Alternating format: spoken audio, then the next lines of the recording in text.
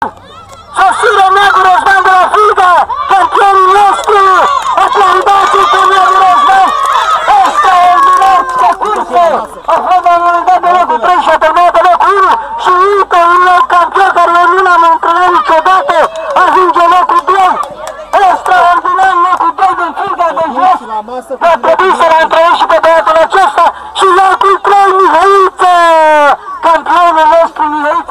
care a condus cursa Târnopele cu tren. Locul 4, Iarășul, nu care ni l-am prănesc, și sosește și primul concurent de la București de la Clubul Mișcarea, locul 5. Felicitări! Uite câte, uite câte și uite la masă!